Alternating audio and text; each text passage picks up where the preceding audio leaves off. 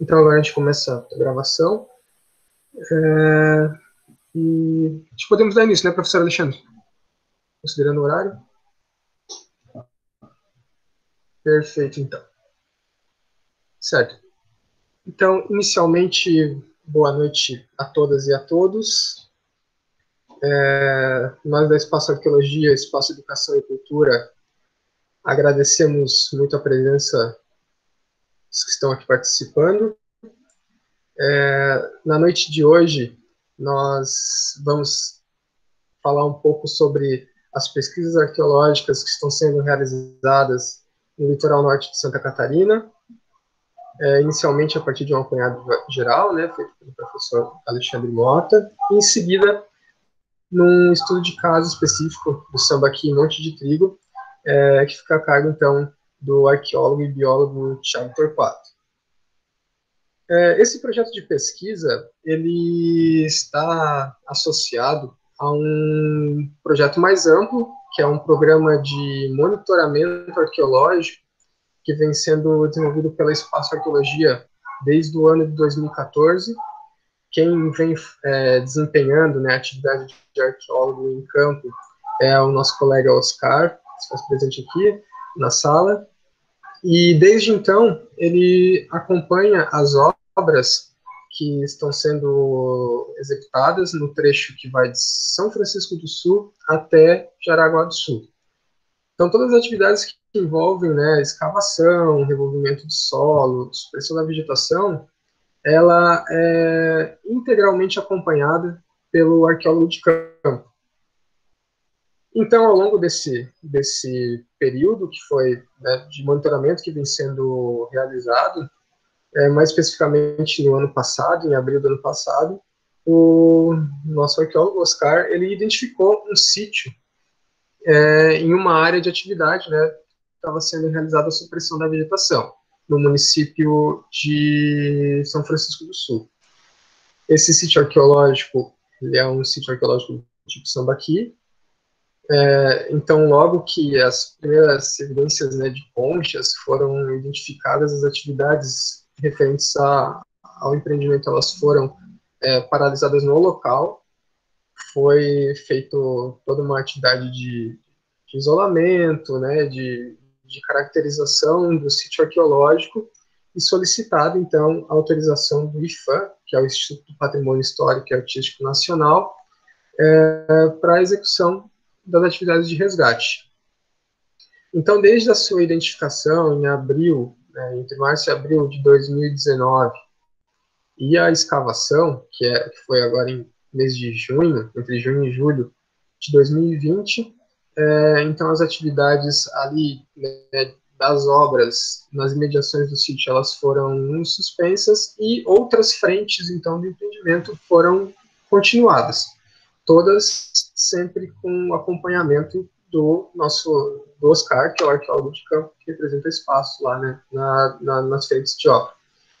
Então, é, logo que identificado então o sítio, foi tomado esse procedimento e uma vez é, autorizada a pesquisa, que se deu né, com a publicação de uma portaria autorização, em nome do professor Valdir, arqueólogo coordenador, né, arqueólogo coordenador da Espaço Arqueologia, que também se faz presente, também em nome do Tiago, para que fossem iniciadas as atividades. Então, é, em junho, sim, foi feita a, a, etapa de campo, e de lá para cá, uma série de estudos, de análises, elas foram sendo desenvolvidas em laboratório, em gabinete, é, para que então os, os vestígios arqueológicos que foram é, resgatados na área do sítio fossem é, então analisados. Então vai ser sobre é, essas análises, esses resultados que o Tiago é, vai trabalhar na noite de hoje. E antes, contudo, né, dessa fala dele, o professor Alexandre vai fazer uma, uma introdução sobre é, o conceito de patrimônio, o conceito de sítio arqueológico, que é um sítio arqueológico, também sobre a legislação né, vigente, que é, prevê a proteção, a salvaguarda desses, desse patrimônio arqueológico e também é, um apanhado geral do fazer arqueológico, o que, que, que é arqueologia, né? Então, uh, vai ser uma, uma atividade expositiva, dialogada, então a gente deixa aberto o nosso chat para que aqueles que tenham interesse em fazer algum comentário, fazer uma pergunta, se sintam à vontade e também, caso prefiram né, abrir o microfone, a, a câmera para fazer o questionamento, também é, se sintam à vontade para isso. Mais uma vez, é, então, informo que vai tem tem um formulário que foi disponibilizado no chat para que aqueles que né, queiram o um certificado é, só preencham o formulário, então vai ser providenciado o certificado, e também que essa, essa atividade está sendo transmitida pelo Facebook também. Então, às vezes, tem algum colega, algum conhecido que tem uma facilidade em acessar pelo Facebook, também fica à vontade. Da mesma forma, é, pode fazer os comentários e perguntas por lá. Então, acho que mais uma vez agradecer a presença de todos e de todas, é, desejar a todos uma boa noite né, de, de troca de conhecimentos. E nesse momento passo a palavra para o professor Alexandre, que vai dar início à apresentação. Boa noite a todos. Como o professor Raul colocou, para nós é uma satisfação estar aqui partilhando conhecimentos, né? principalmente quando se trata de um projeto né, arqueológico de tamanha relevância. Lucas, pode passar, faça favor? Bom, aqui o que, que nós veremos nesse encontro? Primeiramente, a gente vai conversar um pouco sobre o que, que é um sítio arqueológico, e por que pesquisá-lo. Depois nós vamos é, também retomar algumas ideias concernentes à ocupação humana pré-colonial em território catarinense, eu vou fazer essa exposição, como uma forma de introduzir, né, uma forma de apresentar o projeto em si, que o professor Tiago Torquato vai apresentar, que é exatamente a importância do monitoramento arqueológico em áreas litorâneas, os sítios invisibilizados, sambaqui anterior à última transgressão é, marítima, e os processos formativos do sambaqui Monte de Trigo. Então, esse é o programa para o nosso encontro de hoje. Lucas, faz favor. Bom, primeiro a gente como é de praxe, como é de costume, nunca é demais lembrar que a arqueologia é, ela não é uma aventura. A arqueologia é uma ciência humana, né? cuja preocupação maior é buscar é, encontrar vestígios materiais que indiquem atividades humanas. Diferentemente da paleontologia, né? Porque existe ainda uma ideia de que o arqueólogo é aquele que procura dinossauro. E desta forma, aqui é oportuno também dizer que a, a, é a paleontologia, se é assim que podemos é, afirmar, ela que procura o dinossauro, não o arqueólogo. Né? Na verdade, a preocupação do arqueólogo é com os vestígios, né, que indiquem é, cultura humana. Ao contrário, então, da paleontologia que busca por fósseis. Pode passar, Lucas? Bom, o que é um sítio arqueológico? Vamos retomar alguns pontos. Nós, aqui no caso, elencamos quatro aspectos. O primeiro é pensar o sítio arqueológico como um lugar, um lugar de história de longa duração. Também podemos pensar o sítio arqueológico como um ambiente, um ambiente modificado por atividades humanas. Da mesma forma, podemos pensar o sítio como uma área que é delimitada pela ocupação humana, bem como um bem protegido, né, que na verdade ele é, é tem a proteção do decreto-lei número 25 de 1937 da Lei número 3.924 de 61 e a nossa Constituição Federal, né, de 88, que também fazem a devida proteção. Então, a questão do sítio, a ideia de sítio arqueológico é uma ideia polissêmica, né, porque ela pode ter vários aspectos elencados no seu conceito. Pode passar, Lucas, por favor. Bom, por que se deve, então, pesquisar o sítio arqueológico? É outra pergunta também que incomoda, é outra pergunta também interessante, pertinente da gente focar aqui rapidamente. Então, nós elencamos três motivos. Primeiro, porque leva ao conhecimento de como funcionava e vivia determinado povo em diferentes épocas. Né? Lembramos que a arqueologia também trabalha com o contemporâneo, né? por exemplo porque é onde se encontram vestígios antrópicos, até então adormecidos, estão ali esperando, né, pelo arqueólogo, que indicam contextos socioculturais. Isso é importante também frisar. E por último, porque é um meio de se reconhecer e valorizar o ambiente e a história local.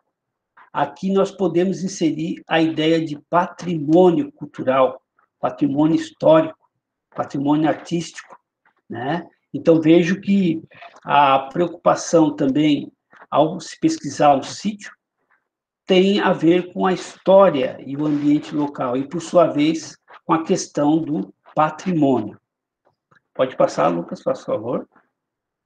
Aqui nós apresentamos um, um, um mapa clássico né, do padre Schmitz, né, onde ele faz a localização, né, os territórios de povos pré-coloniais. Né? Nós temos desde os caçadores da Mata Atlântica até os Guarani do litoral.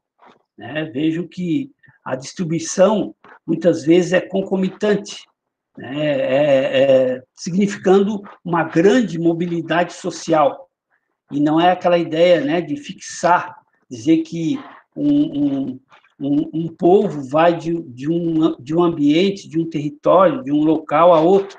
Né? Então, vocês vejam pelo mapa que há uma ideia de grande mobilidade social é, por parte desses povos é, ditos como pré-coloniais. Pode passar, Lucas. Bom, e aí também nós procuramos no Cadastro Nacional de Sítios Arqueológicos aqueles sítios já cadastrados. Então, nós temos os municípios de Joinville, São Francisco do Sul e Araquari, né, os quais fazem parte do, do projeto. Né? Então, nós temos ali o Joinville com 35 sítios cadastrados pré-coloniais, e dois sítios históricos, né, o da, da, que remontam à época da colonização. É, nós temos o São Francisco do Sul, né, o município de São Francisco do Sul, com 58 sítios pré-coloniais e seis sítios históricos da época da colonização europeia. E temos, enfim, o município de Araquari, com 22 sítios pré-coloniais e, por enquanto, nenhum sítio histórico cadastrado. Bom, pode passar, Lucas. Bom, então agora eu passo a palavra para o professor, né, arqueólogo e biólogo Tiago Torcato. É, obrigado, professor Mota. Acho que estão me ouvindo bem, né? É, bom, é, primeiro é um prazer estar aqui hoje, falando pouco sobre sambaquis, é, de maneira geral, e mais especificamente o sambaqui Monte de Trigo, que foi identificado no, do, do decorrer das obras da, da BR-280 pelo é, arqueólogo Oscar. Bom, a pergunta né, inicial que a gente faz e que a gente já, já ouve, ouviu muitas vezes é o que são é, os sambaquis, né? Bom, essa pergunta, ela é feita, acho que desde o, desde o primeiro europeu que pisou aqui, na, aqui no, no litoral, e até antes disso, né? Acho que até o, quando os guaranis chegaram aqui no litoral e se deram, deram de cara com esses, esses montes de concha, aí dessa deve ter sido uma pergunta deles também, né? O que, que é isso? O que, que isso está faz, tá fazendo aqui?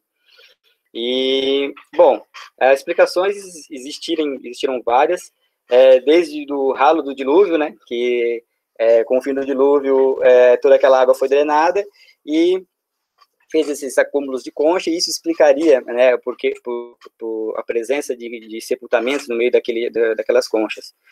Passando pelo lixo do índio, né, no momento em que os indígenas eram todo adjetivo, todo toda, todo adjetivo que pudesse denegrir a imagem do índio era utilizado, então a teoria de que era o lixo, né, que o índio era tão vadio que soltava o, as conchas no, no, próprio pé e ia formando aquelas, aqueles amontoados.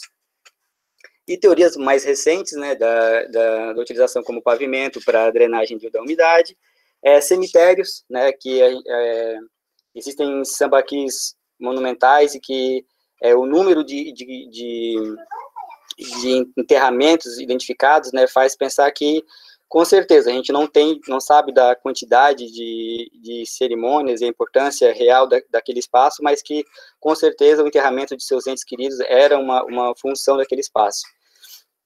Passando por marcadores territoriais, né, com esses enormes, essas, enormes amontoados de concha, né, uma demonstração de poder, de dominância do território, né, a, a, a respeito das, das pirâmides do Egito, né, para mostrar essa, essa força, dessa, esse, essa pungência do, do, do, grupo, e entre outras e outras teorias que são, são discutidas. Né? Uma coisa interessante é que a gente não pode nem considerar é, estritamente, nem desconsiderar nenhuma delas, né? porque é, ainda é uma pergunta muito, muito, muito importante, porque ela, ela, cada, cada samba aqui é um caso, né? cada, cada contexto arqueológico ele vai ter elementos que vão vão se diferenciar de outros sambaquis. E essa complexidade do, do, dos testemunhos vão desde a, do seu tamanho, né? É, claro que os, os sambaquis monumentais, os, os, gigantescos na beira das lagoas, na beira da praia, são assim, foi o primeiro alvo, né? O primeiro, o primeiro vestígio a ser identificado, na né? primeira primeiro sítio a ser percebido, mas a gente percebe durante os trabalhos que existem muitos outros tipos de sambaquis. Sambaquis sem, sem ossos, sambaquis sem sepultamento, sambaquis pequenos, é, sambaquis não monticulares, é, que não passam de apenas camadas. Então, eles, é, essa infinidade de formatos também reflete a sua funcionalidade. Né? É, a gente sabe que os, a, a, a funcionalidade dos, dos sambaquis estudados aqui no litoral catarinense, elas têm uma diferença quando comparadas com o litoral é, do Rio de Janeiro, por exemplo, onde ah, existem muito mais é, evidências de uso habitacional do que, do que propriamente aqui em Santa Catarina.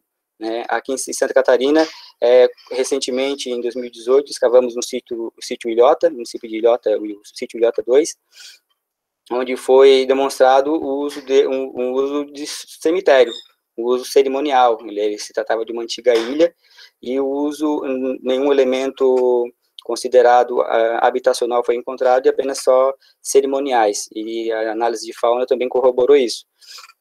Então, a, a exemplo desse, existem uma infinidade de, de outros sítios que vão apresentar funções distintas. Pode passar, Lucas?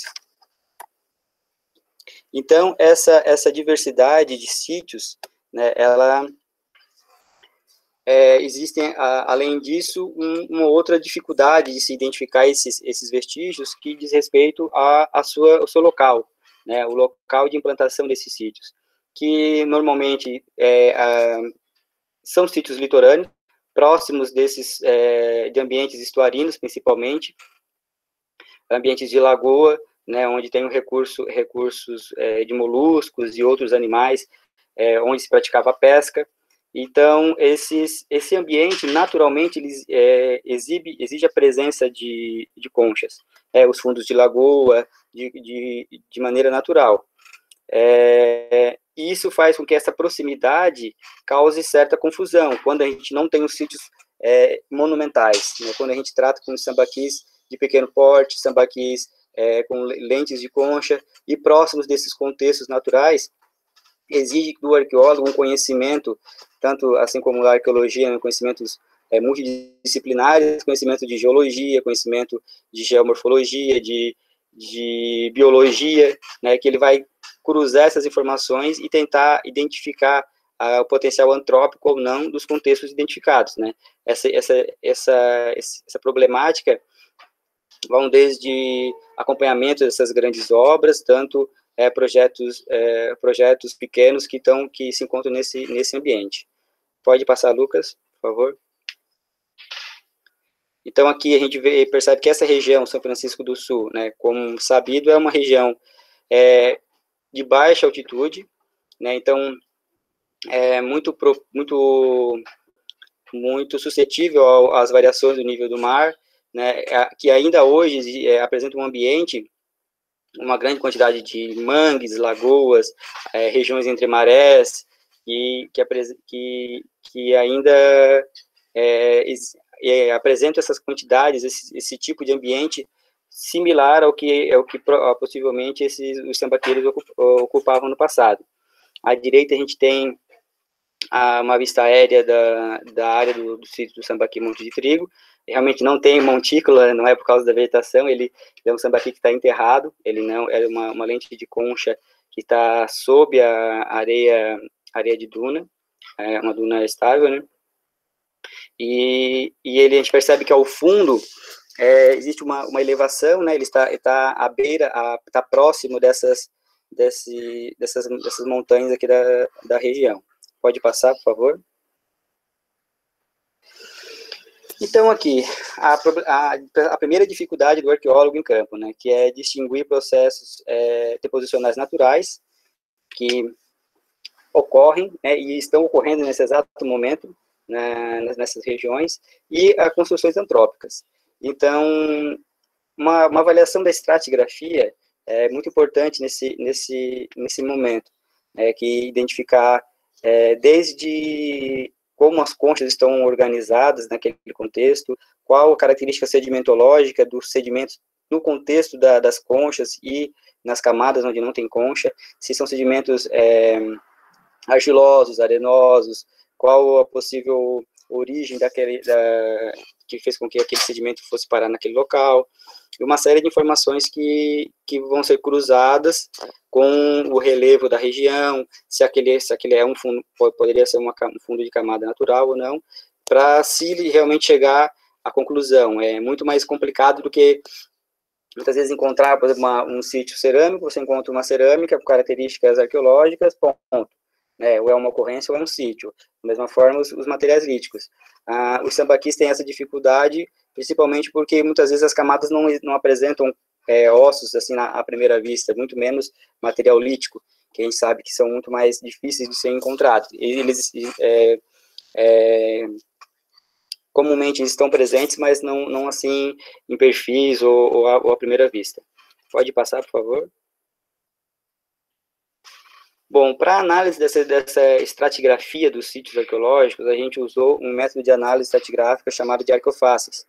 Né, é, bem resumidamente, né, bem, é, de maneira é, resumida, ele pode ser descrito como um primeiro passo a descrição detalhada em campo, porque essas camadas essas camadas estratigráficas, né, que são a, sequência de deposição, seja ele de concha, seja ele de areia, de argilas, né, ela precisa, esses, o, o detalhe, ah, os, os, detalhes de campo são muito importantes, né, para a observação do arqueólogo, saber as, as feições, a presença de, de, lentes de carvão, que muitas vezes são, são destruídas no, no, no, no próprio mexer do sedimento, é, a característica argilosa ou não, né, esses, todos os detalhes de cada camada têm que ser muito bem descritos em campo, para depois essa, essa, informação ser cruzada com outras informações de, da, das camadas analisadas. O material enviado para o laboratório, segundo tópico, ele vai passar por, por análises. Né? No nosso caso, fizemos é, análises é, concliológicas, depois vamos mostrar um pouco mais na frente um resumo de como foi feito, para caracterizar, caracterizar a comunidade de, de, de moluscos, né, a, a partir das conchas, e é, datações das, da, datação das principais é, camadas identificadas.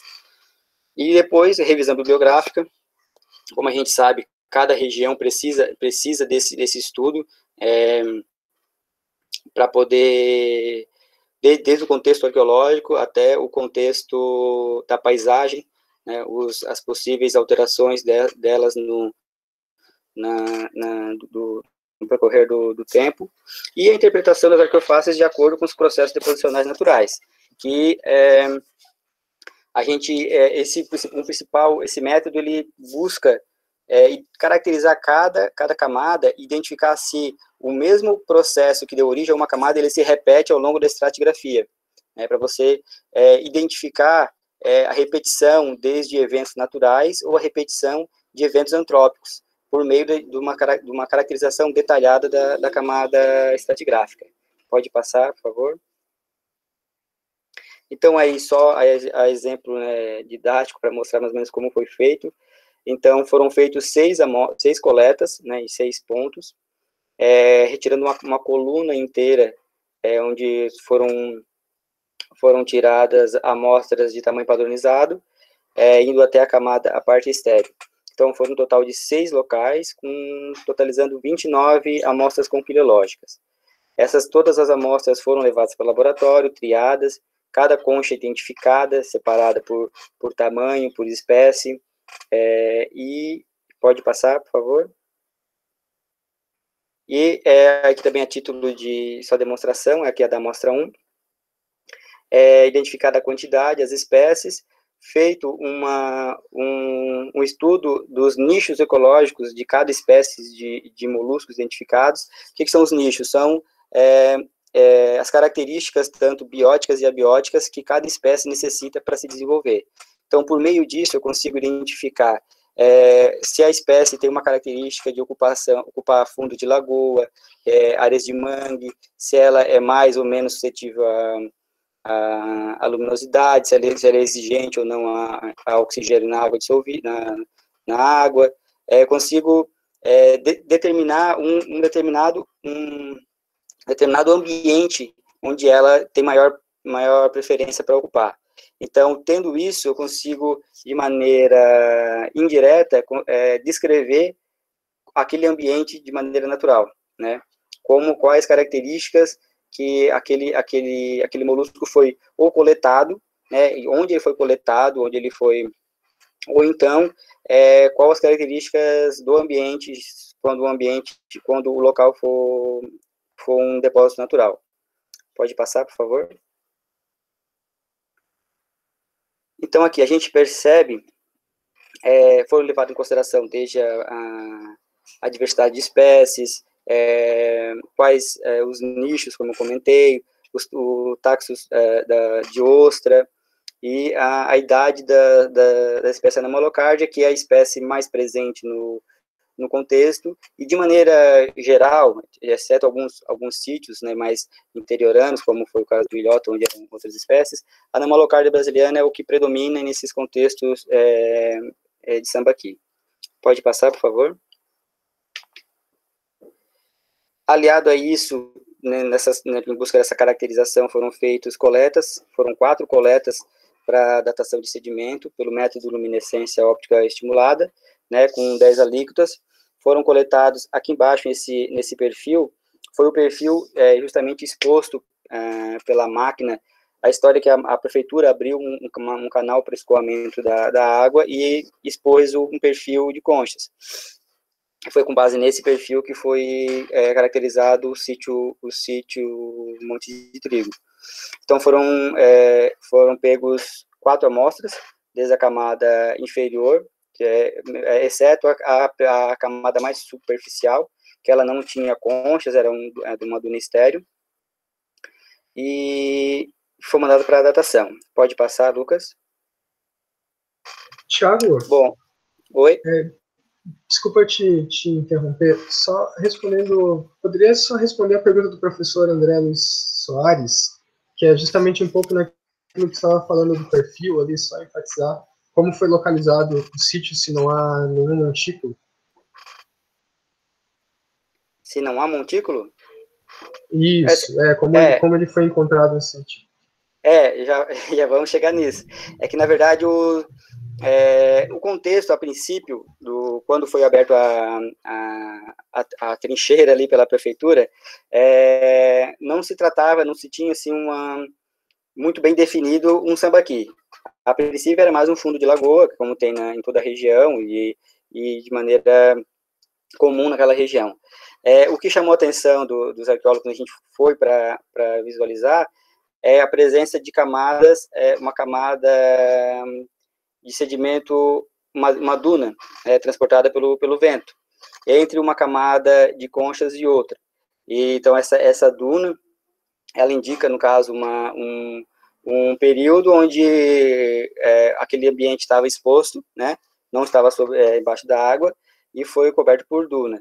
E uma, uma concentração muito grande de conchas, de conchas e pequenos é, lentes de carvão bem decompostos. Então a gente não conseguia coletar o carvão, mas ele tinha tinham pequenas lentes de carvão que no meio dessa, dessa maior concentração de conchas e todo todo o resto do, dessa estratigrafia eram conchas com sedimento. Mais para frente acho que já vou conseguir esclarecer um pouco melhor a, a dúvida. Outro outra outra informação importante que a gente tem que ter, como foi comentado, essas variações climáticas. Quando a gente trata de chamados paleoíndios, que tem geralmente é, são datas muito recuadas, as, as variações climáticas, variação de temperatura, que influenciam diretamente na, na vegetação e principalmente no nível do mar, ela é, são muito mais é, importantes, muito mais representativas para entender aquele contexto, entender aquela paisagem.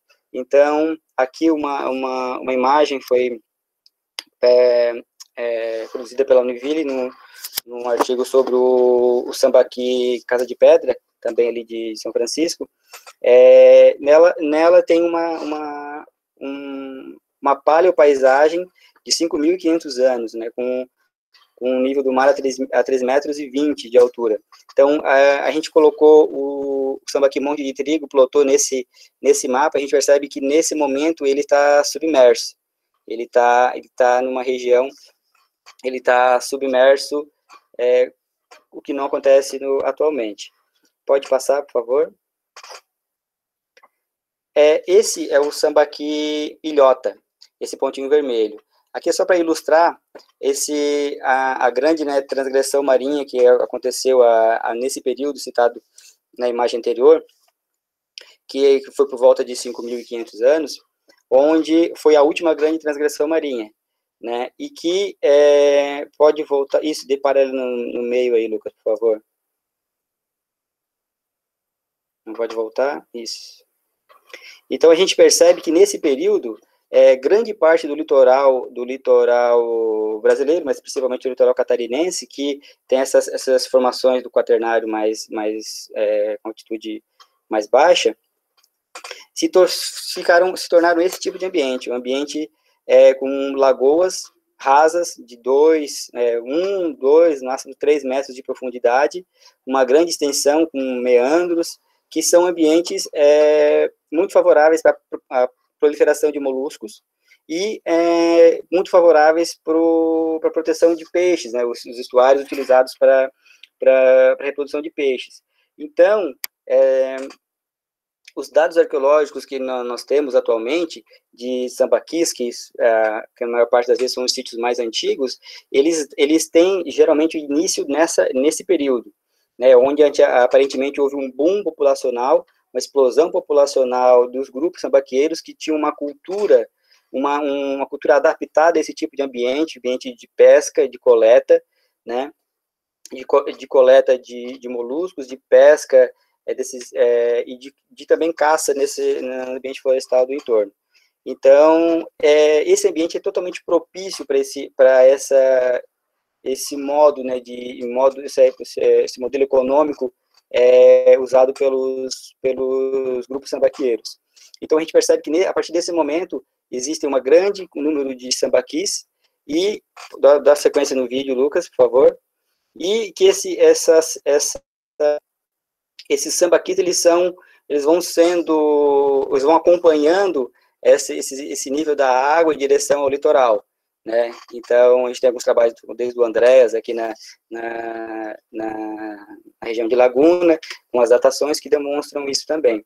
Então, grande parte do, do, saber, do, conhecimento arqueológico se trata desse segundo momento, dessa, dessa recuada, né, do momento em que o nível do mar é, é, é vai, é, houve essa regressão marinha, e os sambaquis vão acompanhando, acompanhando essa regressão.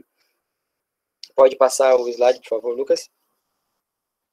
Então, voltando com todas as informações que nós coletamos, desde é, as datas, análise concliológica, é, a, a, a, análise da paleopaisagem né, do, do, da região, e nós é, conseguimos é, chegar num resultado né, que nos surpreendeu de certa, de certa maneira, né, porque nós temos aqui, então, a primeira camada, a camada mais inferior, né, com uma data de 8.480 anos, que é uma camada com a que apresenta realmente sedimento mais argilo-arenoso, uma composição de, de conchas, de, de malacológica, característica de mangue, né, porque se trata de um final de um, de um período, um final de um fundo de lagoa, com presença de, de, de, de ostras e, e outros moluscos é, gastrópodes desse mais, é, mais desse ambiente. É, depois, na segunda camada, uma camada de areia, é, uma camada de areia estéreo, que foi transportada pelo vento, as características dela são um, um, um transporte eólico. Nesse, nessa camada, com uma, uma data de 7.900 anos, é, as conchas presentes nela, as raras conchas, é, são decorrentes da, da perturbação né, do, das camadas limítrofes. Então, a composição dela tem um meio termo entre as, as camadas que estão é, limites a ela. E ali na terceira camada, onde nós temos é, verdadeiramente o sambaqui, né, o contexto arqueológico, a camada arqueológica, é, e a única, a único, única estratigrafia arqueológica desse, desse, única camada arqueológica dessa estratigrafia. Nessa camada nós temos uma concentração muito grande de conchas, é, nós temos os dados de é, os dados referentes à idade, da, ao tamanho da, dos moluscos, indicam uma seleção de, de indivíduos adultos, é diferente de outros, dos outros contextos, onde tem a, a, a, proporção entre indivíduos adultos e imaturos, é, é, é uma proporção dita natural, de ambientes é, naturais. Então, na camada 3, a gente tem ossos de peixe, a gente tem concreções, com, ossos de peixe com concreções com marcas de queima, né? Temos essas lentes de carvão, que infelizmente não, não, não foi possível datar, não foi possível a coleta delas, porque elas a gente chama, na, na arqueologia, tem muitos vestígios que nós chamamos de vestígios fantasmas, né? Existem, os, existem sepultamentos fantasmas, que a pessoa não consegue tirar ele, que ele já está em um estado de avançado de, de impacto químico, que é a, a, a, manipulação dele faz com que ele desapareça. Era mais ou menos essas as situações dos, dos carvões, mas a presença dos ossos queimados e, e da concreção demonstra essa, essa o uso, o uso de espaço com com estrutura de combustão, é, e, essa, e essa seleção de, de, seleção de conchas. E sim, o que chamou também muita atenção foi que a camada 4, ela é um, um fundo de lagoa, com as características conquilológicas é, demonstram isso também, desde as características sedimentológicas, com sedimento mais argilo-arenoso, e também é, o início, a parte de baixo dela, com características, é, com espécies relacionadas também a mangue, o centro dela é, é, totalmente com espécies de fundo de lagoa, com predomínio absoluto da, das anomalocardias, e a parte superior dela também com, com espécies relacionadas à mangue. Isso acontece porque essa subida e essa descida do mar, ela não, não acontece assim de uma hora para outra, é centenas e centenas de anos, e esse ambiente vai sendo aos poucos coberto pela água, e nesse processo de de, é, de elevação marinha, o, ambi o ambiente não vira de uma, outra, uma hora para outra fundo de lagoa, ele passa pelo, pela transição e geralmente com, com características de mangue. Né? Então, a, composição concreológica tende a ter essas, essas flutuações, essa variação entre as, as partes é, limítrofes da, da, das camadas e o meio da camada, que é propriamente o fundo de, fundo de lagoa. E depois, a camada 5, um uma duna, uma, uma, areia transportada pelo vento, sem presença de conchas. Então a gente percebe né, na, na, na estratigrafia um ciclo natural, que começa na camada 1, fundo de lagoa, é, o mar regride, a duna cobre, e depois, é, só que no meio, do, no meio desse ciclo, a ocupação humana, e depois sobe o, a lagoa. Uma, uma, uma descrição bem que, que o, o, Bigarella usa muito, usou para aquela região e que a gente vê muito muito nitidamente nessa na estratigrafia é, é que o seguinte após a primeira ocupação a primeira após a, a primeira regressão marinha que deu origem à camada número um o ambiente ficou seco é, foi tomado por uma pequena duna de areia mas ele ainda estava muito próximo de ambientes de mangue, ambientes de fundo de lagoa, explorados e utilizados pelos grupos sambaqueiros. Só que a presença dessa, dessa pequena duna fez com que provavelmente esse, esse local fosse mais, é, mais seco, com menos umidade do entorno, que era mais lodoso, mais argiloso.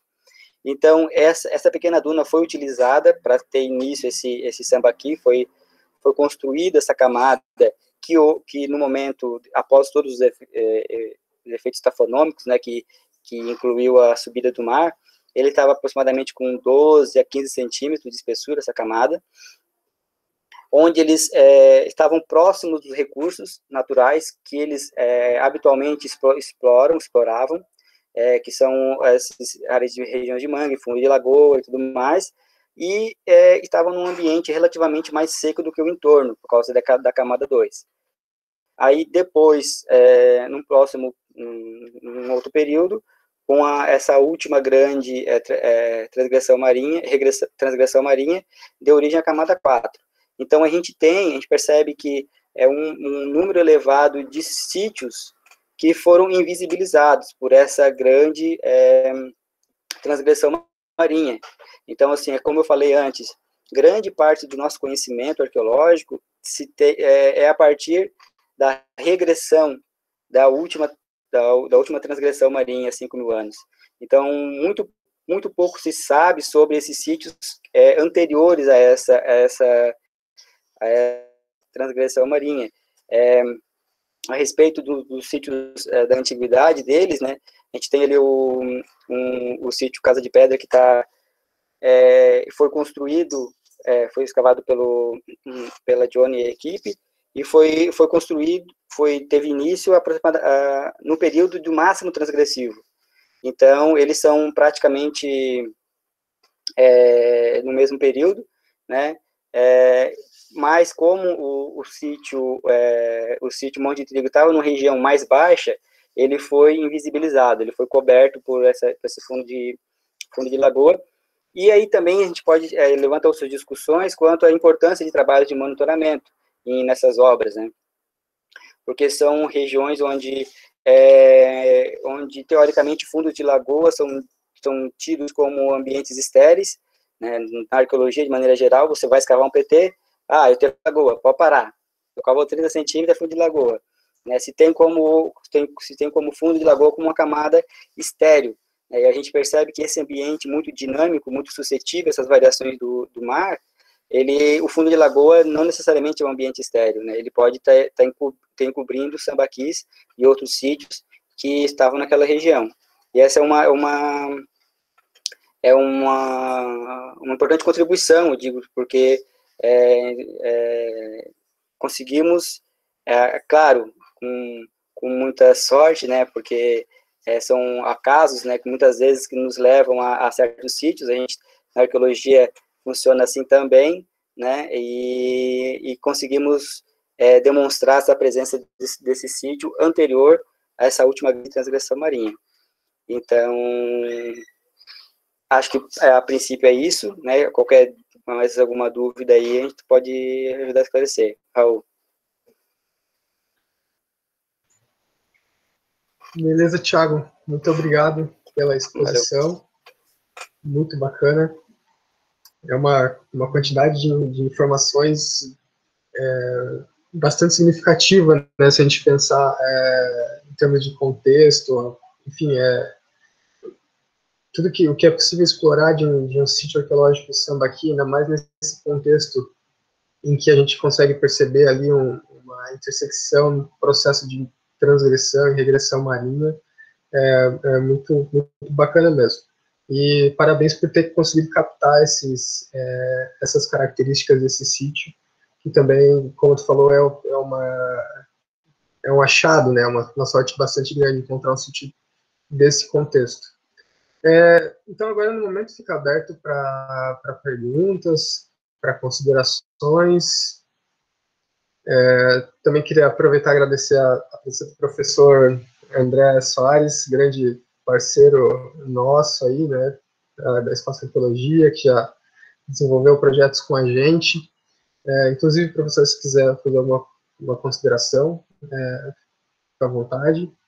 Também os, os demais presentes. É, tá, está aberto para considerações. Basta abrir o, o microfone e a, e a câmera e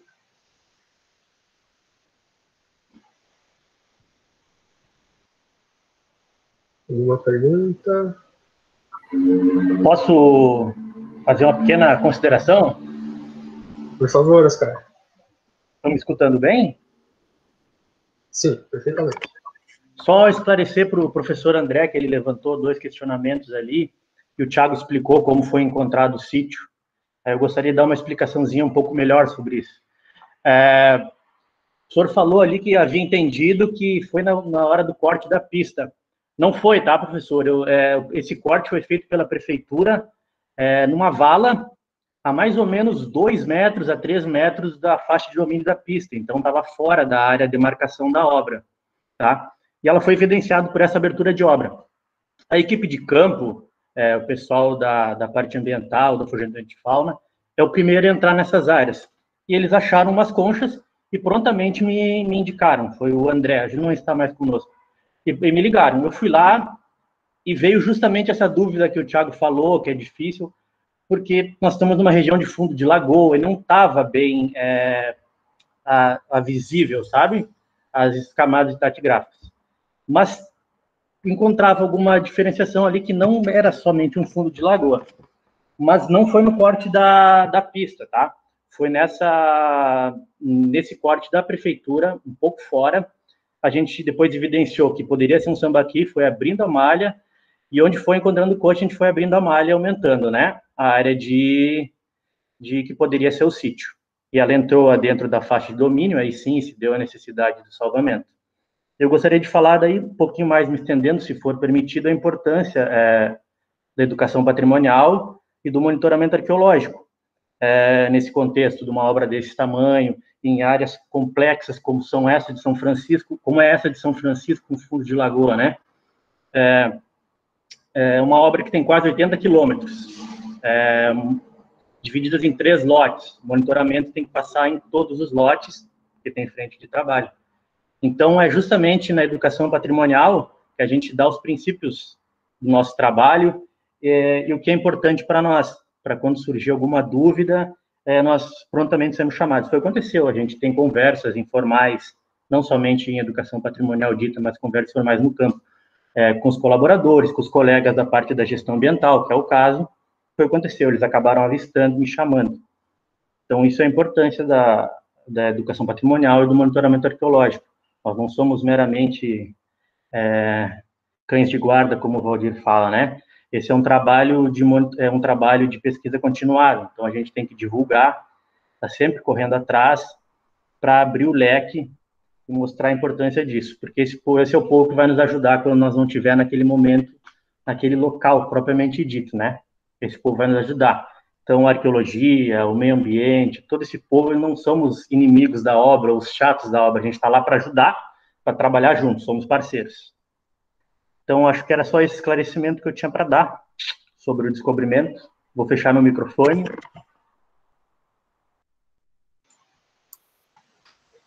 Muito obrigado, Oscar. É. É, aí só uh, a questão ali que o professor André é, perguntou, eu acho que em que medida né, essa abordagem está, da, obriga a revisão de toda a literatura com a questão dos fundos de, de lagoa como camada estéreo e a proposta seria uma proposta de, de um modelo de ocupação litorânea. Bom, assim, é, o conhecimento sobre o fundo de lagoa né, e a questão dos a questão da presença de a presença de sítios anteriores a ele, acho que é, um, é uma questão sabida, né, que a gente, porque desde a arqueologia subaquática, um, os estudos de variação climática, que a gente sabe que o nível do mar teve bem mais recuado que, que o atual, né, então tem, existe, poderiam existir milhares de sítios que foram ou destruídos ou então sub, submersos pelo, estão abaixo do mar, é, a ecologia subaquática já, já lida muito mais com isso, né, dessa questão desses sítios invisibilizados. É, é, uma questão que já, era, que já era sabida, mas muito pouco falada justamente pela questão, pelo, pelo, pela problemática que ela envolve, né? pela, pela questão de, do, do, do, do incerto, né? porque o, o, procurar um sítio arqueológico, um trabalho de monitoramento, a gente vai, faz os, os as obrigações, faz as investigações, o, o, o projeto proposto no IFAM, só que, no fundo, a gente faz, por exemplo, um PT de um metro de profundidade, que é onde a cavadeira alcança, mas a gente, é, no fundo, sabe que poderia, pode existir, existir sítios a, a 3 metros de profundidade, mais, a depender da região, das dinâmicas geomorfológicas de cada região. Né? Então, assim, os, os modelos, acho que, acho que não, não chega a alterar essa proposta desses modelos, mas ele serve como um alerta né, para os arqueólogos que estão, que estão na frente de trabalho, que estão escrevendo projetos, que estão é, trabalhando para ficar atentos e para, como eu falei, ah, escavei um, escavei um, um, um PT de 40 centímetros, é fundo de lagoa. Né? Então, calma, né? Vamos fazer aí um método de, de profundidade, vamos, vamos investigar, porque é, essa possibilidade, ela a gente sabe que sempre existiu e esse sítio serve para nos alertar, para mostrar, opa, calma aí, tem é, anterior a essa, esse fundo de lagoa pode existir alguma coisa. Acho que é muito mais nesse sentido. Raul, ou quem queira Eu, eu, eu gostaria de, de acrescentar é, essa questão da, da importância de, de fato, se, se ter cuidado a esses contextos, né, principalmente num, num ambiente como esse, que ainda hoje a gente percebe uma variação muito grande. É, de, de manhã a gente passa pelo canal do linguado, tem áreas expostas, né? Final da tarde a gente passa lá de novo, a, enfim, a área está toda submergida já.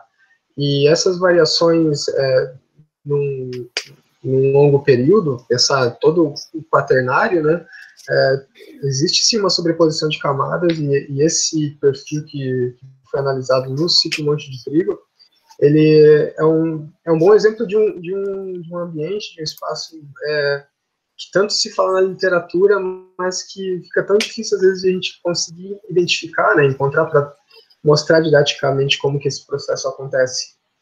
E uma outra e uma coisa que é muito é, importante é que esses sítios que por vezes eles são invisibilizados, eles logicamente eles não, não são aqueles enormes montes de concha, né, que a gente tem, é, é, que são as principais referências quando se fala em sambaqui, tanto para a região da Baía da Babitonga, quanto para outras regiões do litoral de Santa Catarina, ou mesmo Rio Grande do Sul e Paraná.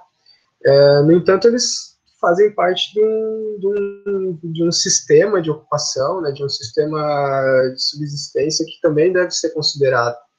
Então, ele nos permite já pensar que, assim como a gente às vezes faz as inferências sobre os contextos que a gente encontra dos sítios míticos, é, né, as margens dos pequenos córregos, grandes rios, mesmo para esses sítios Guarani, então, é, as grandes áreas de, de, de captação né, de recursos é, dentro de um terroir, é, isso também a gente tem que começar, não que seja começar, mas a gente tem que olhar com mais atenção também para o sambaquismo, né, porque não só de grandes montes de, de conchas, de grandes sambaquis monumentais, é, essas populações viviam, né? o sistema de, de, assentamento deles, né? Todo o processo de, de econômico, de, de, subsistência, mesmo de, transi, de, é, de território, né? Deslocamento no território, ele também é, deixa esse tipo de registro, que são esses pequenos sítios, com, como se fossem, né, de fato, acampamentos que num processo desse é, acaba sendo totalmente soterrado. É, nas linhas de costa, onde a gente tem uma movimentação eólica maior das dunas, isso ocorre né, também tranquilamente. No dia de vento nordeste, o concheiro ele é facilmente, o concheiro baixo, né, claro, ele é facilmente é, soterrado.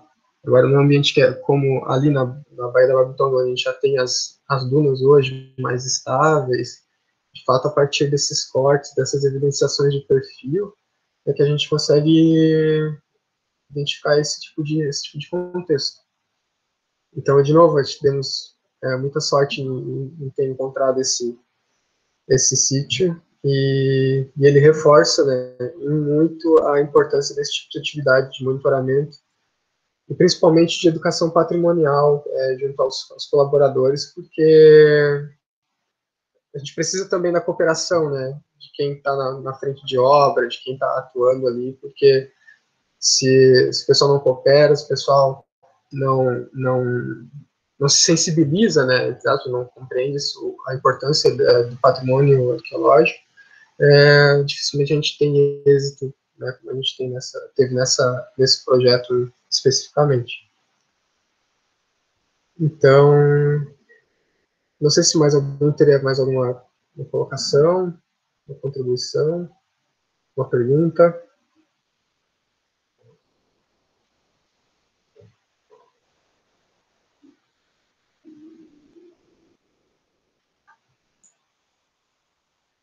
Bom, então, eu acho que nós podemos, acho que, encerrar, né? Eu quero encerrar agradecendo mais uma vez ao Tiago pela, pela exposição brilhante, é, pelo professor Alexandre também pela condução inicial, que foi muito bacana, muito esclarecedora para a gente entender o processo, né? Como a gente chegou nesse, é, nesse projeto, nesse sítio, o que, que nos ampara. Também ao Oscar pela contribuição muito importante sobre o monitoramento, que é, nada como uma pessoa experimentada no trecho aí, né, é, para nos, nos, transmitir essa questão da importância do, dessa atividade e também da, desse dia a dia com os, com os trabalhadores. E agradecer a todas e a todos que participaram é, conosco. Espero que tenha sido é, um, uma noite bastante agradável, né? Uma, é, um momento de aprendizado, né? De, de, de, um conteúdo bastante interessante que a gente não encontra, né? Assim tão facilmente na, nas lives aí de hoje em dia. Então, mais uma vez, muito obrigado. Todos e todas, boa noite. E, ah, é, também gostaria de lembrar o pessoal de colocar, de preencher o nosso formulário, né, para receber depois o, o, certificado. Então, preencham o formuláriozinho que está no nosso chat e para depois a gente estar tá encaminhando o certificado para os que participarem. Também, se é... o professor Alexandre e o Thiago tiverem mais alguma consideração final. É, eu também é, gostaria de agradecer né, essa oportunidade. É, esse, na verdade, é uma, uma, essas lives é uma, uma, oportunidade que às vezes a gente não, não fazia, né, por, uma, por ter outros, outros meios de divulgar a pesquisa, mas que a gente percebe que consegue atingir muitas vezes o, é, pessoas que estão interessadas no assunto, que estão longe, que não poderiam é, ter, é, ter um acesso tão, tão fácil tão dinâmico como como a, essas, transmissões de hoje em dia. É, lembrando também que, às vezes, quem está fazendo algum trabalho na região ou tá, tem alguma dúvida sobre o trabalho que foi feito pelo espaço, né, entre em contato, manda um e-mail, a gente está sempre disposto a, a, trocar informação, que é assim que a gente se sustenta, na verdade, é assim que a gente constrói o conhecimento, e então estamos abertos aí às dúvidas, fale, é, fale agora ou pergunte depois, né, tanto faz. E só quero agradecer, agradecer e o senhor Mota, quer alguma coisa?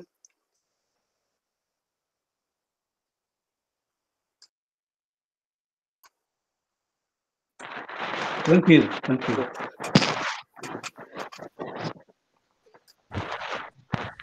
Professor Valdir?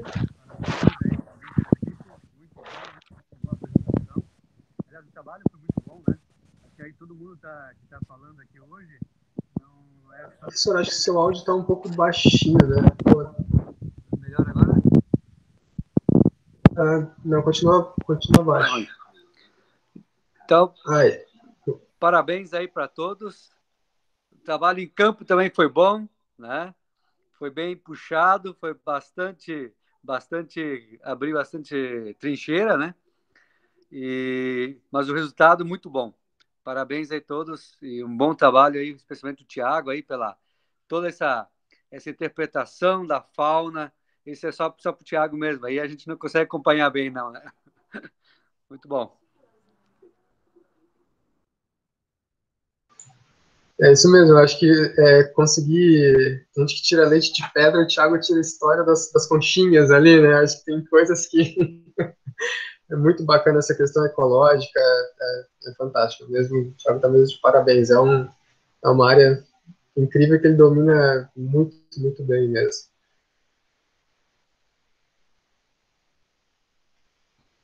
Então é isso, pessoal. Valeu, uma boa noite, bom descanso e até uma próxima live Espaço Arqueologia.